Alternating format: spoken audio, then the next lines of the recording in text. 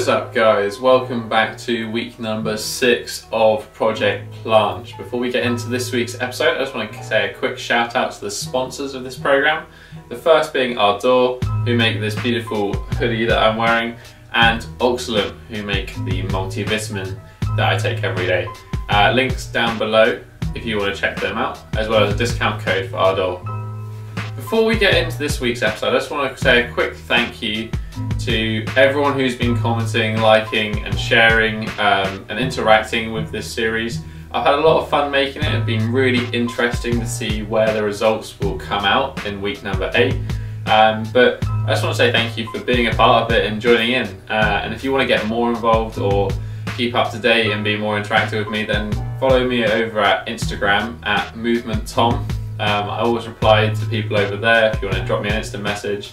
Uh, and I just generally post whatever I'm up to, whatever I'm training, uh, and a little bit more up to date than these videos. Week number six it is all about overloading just before we take our deload and then test our skills. So this is the third overload week of this program and possibly the last chance we have to really blast our muscles and hit hard. So this is a good opportunity to really sort of bust your balls this week and push for those harder progressions. So the theme that I've used this week has been band assisted. So by that I mean we're going to be using a rubber resistance band, such as one of these maybe, or the fully looped versions and you can just hang them around a bar, you can sling them in all sorts of different ways. I've tried to show you some good examples in this week of exercises you can do with the band. They are very useful. It is great for overloading different muscular patterns because it's like doing the same movement but you are 10, 20 kilos lighter depending on what resistance band you choose. Um, so it's a really good way of progressing, really good way of learning different neuromuscular patterns like handstand press ups, planche push ups, all of that sort of good stuff. So that's enough of me rambling on let's jump straight into our straight arm day and we can see how to apply some of these band assisted exercises. So as we talked about utilizing the band assisted exercises here, this is actually one of the first few times I've used these particular planche band assisted leans. Um, it's quite a weird one to get used to, trying to work out where your body is. Uh, I included a few sets uh, in this particular exercise just to just to demonstrate my progression through it. As you can see there, my bum is a bit too high. Um, my lean is really far forward because I was a bit too far away, so like the band was pulling me back, which meant I had to lean more. Um, so I think I actually finally just about got it right on this last particular progression here. I was more under the bar um, and I could focus more on having a good lean and being a bit flatter. But it is a really, really great exercise for overloading that neuromuscular pattern.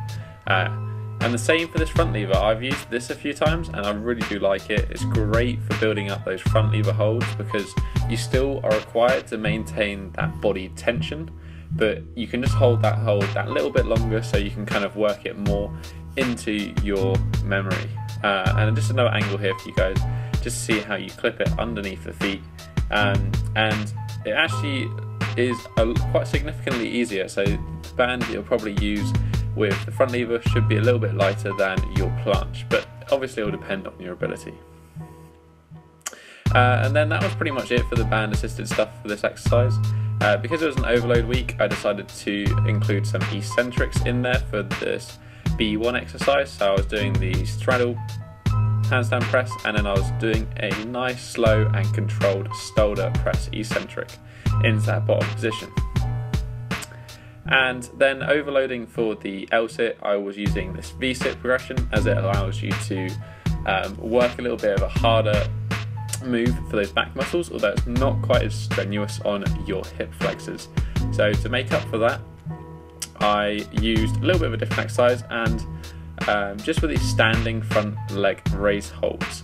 Um, this is actually quite a hard exercise and is a great test of active flexibility as well as hip flexor strength. So uh, I think it's just an exercise that I'm actually going to start including more because I really want to improve my hip flexor strength as that will definitely help for my V-sit uh, as well as my core compression for other exercises as well. So this is definitely one to include and also a little bit of balance as well. Then moving into some elevated bridge holds. Uh, today it was just busy where I usually do it, so I ended up doing it against the wall. Um, and I kind of didn't go into the full, I was just kind of pushing against the wall, trying to push my shoulders, push my head through. Um, it's still feeling good, definitely probably one of my most improved aspects. And then into some skin the cats.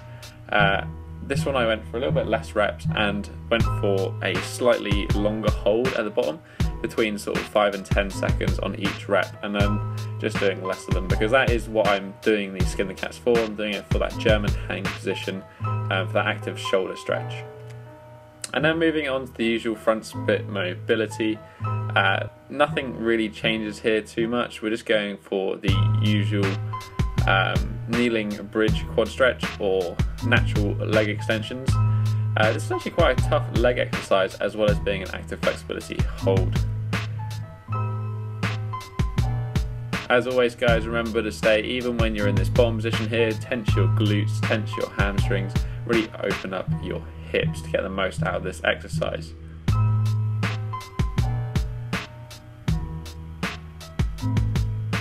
And then into these pulsing hamstring stretches. Last week was the first week where we managed to get straight elbow to toe at the beginning of the first set. Uh, so I started moving on to some more advanced variations. Now, here we're skipping out the elbow altogether and we're going straight for the head to toe. So I'm currently at about a fist and four fingers, a fist and three fingers away from my head to toe. Um, a fist and a thumb on a good day, but I think I was a little bit tight today. So uh, I was about a fist and four fingers, as I said.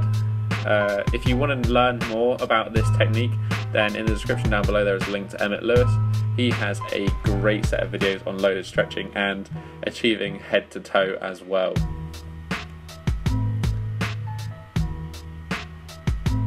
Then for the front split section of this little circuit, uh, I'm utilising some active front split holds that was mentioned by Chris Scott in a previous video. Uh, these are actually really, really great, although I have found I'm not quite strong enough to hold it independently, so I've been using a ledge in front of my front foot, and that allows me to get a little bit lower as it gives you a little bit of support, um, but you still get the benefit of that active flexibility. If your front splits are a bit stagnant and they haven't been improving, then definitely consider imp including this exercise. Um, you don't have to go as low as I'm going here, you can definitely go a lot higher and still get the benefit from it. Next we're moving on to our dynamic day and uh, I thought I'd throw that in there, that was a little attempt at a straddle planche. It had just been really nice to be able to hold that for like, you know, 10 seconds or something. Uh, looked pretty awesome. Maybe one day.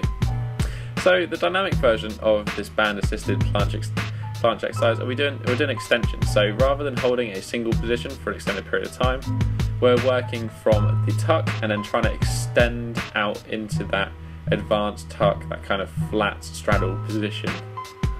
And then the same kind of applies for the front lever.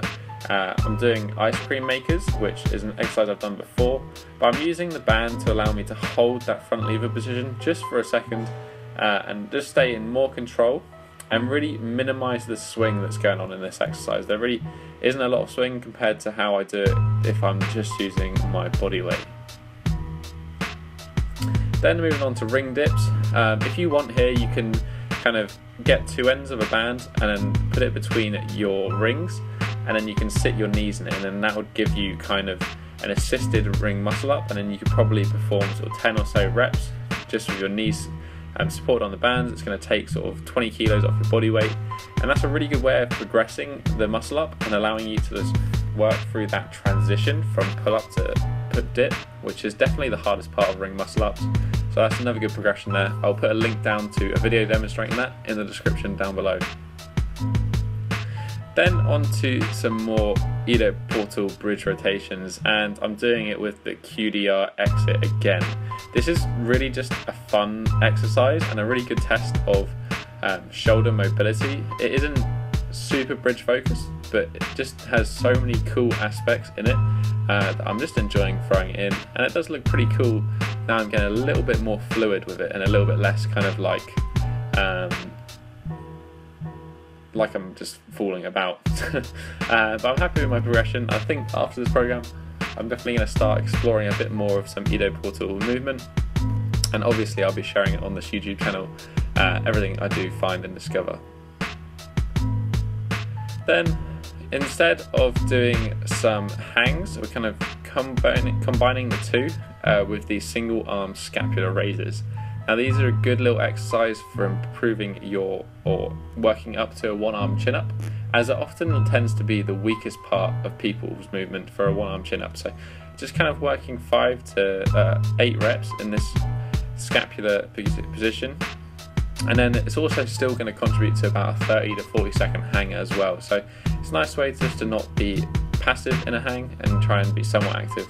Keep that scapula engaged as it is a very, very important muscle for body weight movement. Then we're going to jump into the middle split routine.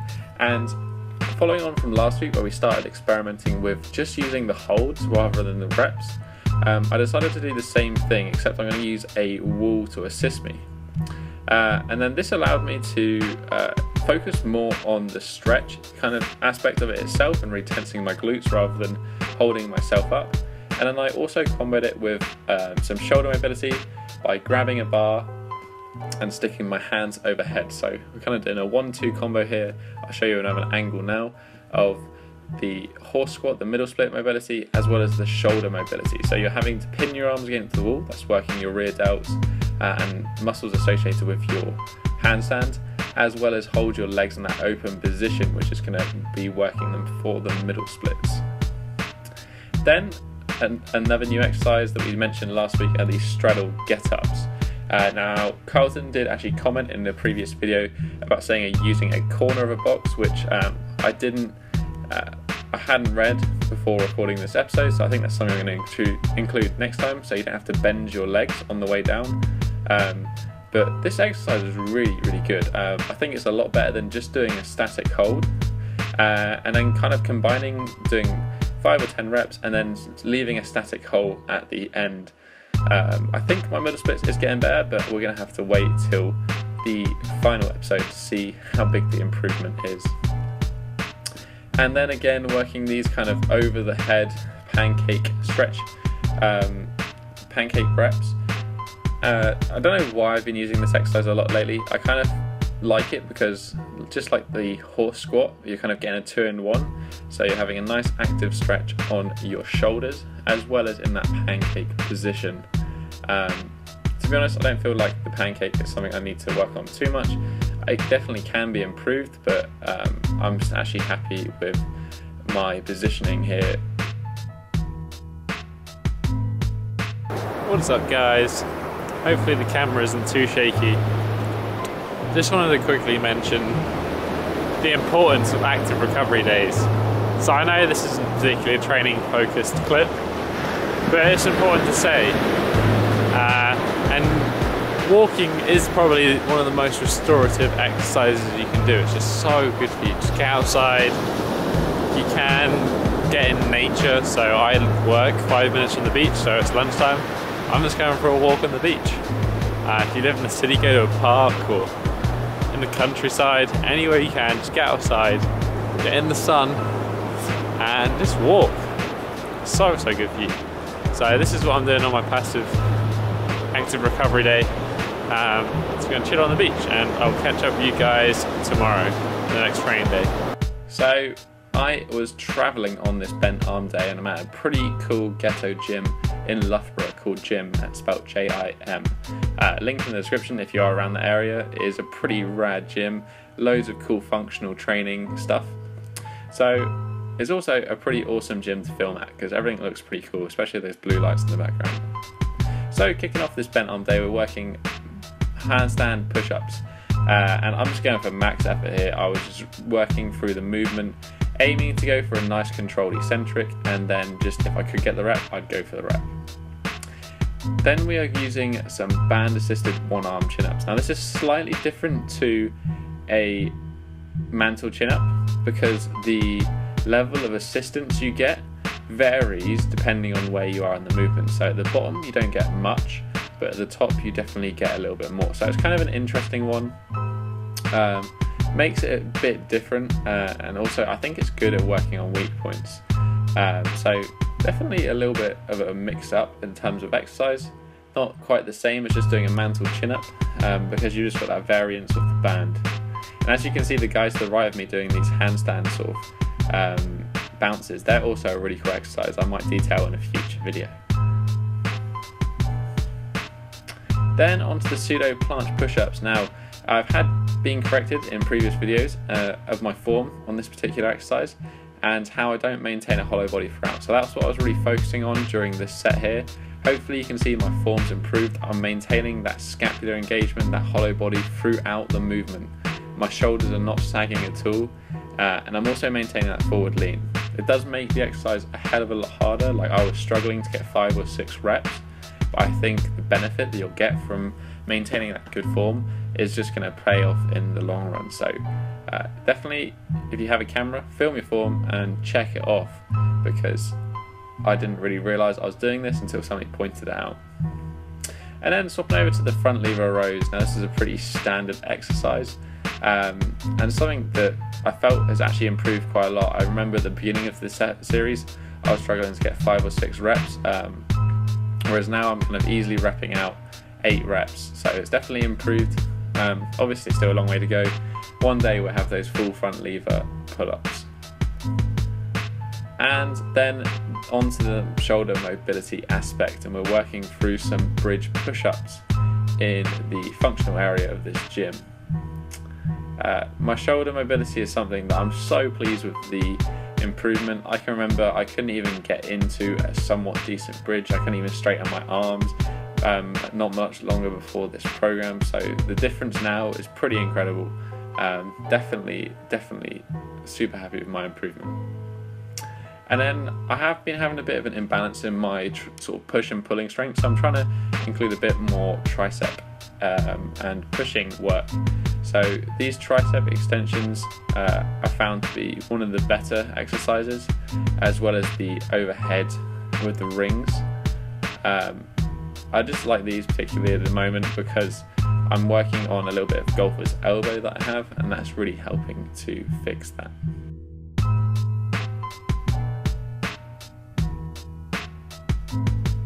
What is up, guys? So it is day number six of week number six. Uh, I was traveling this weekend, so I had a bad sleep, didn't get a chance to train legs at the weekend, so it's now a Monday, so I'm at work. Uh, and I thought I'd make the most of a nice day and come down here to the beach and come for a leg session. So I'm going to do some beach sprints and then the body weight circuit, and that should be good. And maybe a swim in the sea. It is February, it is pretty cold, so we'll see. Alright, show you, get on to the workout. So, just showing you through a little bit of a quick warm up that I'm doing here. But I just like to mention that the beauty of doing body weight exercise is that you can do it outside. And in summer, especially, I pretty much exclusively work out outside. Um, it is still February here in England, so it's pretty cold. But when it's sun is shining, it's nice to just get out, get moving, especially when I work so close to the beach. So, in today's episode, I didn't really feel like doing anything major. I didn't feel like doing sprints in the sand. As I said, it was cold. Um, so I just didn't think it was worth it. Instead, I decided to do the circuit, but uh, that I usually do. But I was doing it for four, maybe five rounds instead of the usual three, two to three rounds. So I was just basically including more volume of that circuit rather than doing some sprints and some other bits and bobs. So that was how I increased the volume um, and the intensity of this workout.